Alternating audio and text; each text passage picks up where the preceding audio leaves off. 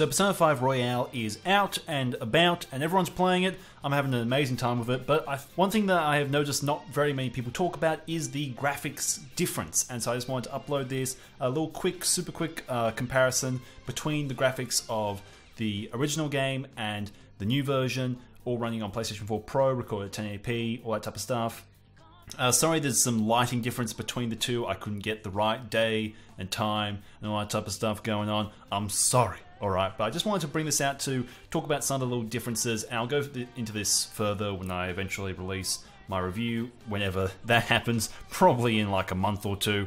Um, I'm having a great time with the game though, but just some things I've noticed. There is just, it's mostly a difference on textures and that type of stuff. I believe they're the same textures, but just it feels like the engine is more tailored towards the PlayStation 4 this time rather than the original one, which was more or less just a PlayStation 3 game ported over to the PlayStation 4. And there's just this really, the textures are just way better. There's a difference in the clarity. There's also, you're more zoomed in in the new game, but all that type of stuff. But just some really cool differences that really shone out to me. I'm surprised fewer people are talking about it. It's probably because they're not the biggest changes in the world I'll talk about all of this in more detail when I do my review eventually, but for the moment, I hope you enjoyed this little thing for the people who are interested in the graphics comparison. Anyway, I'll see you all next video. Bye bye.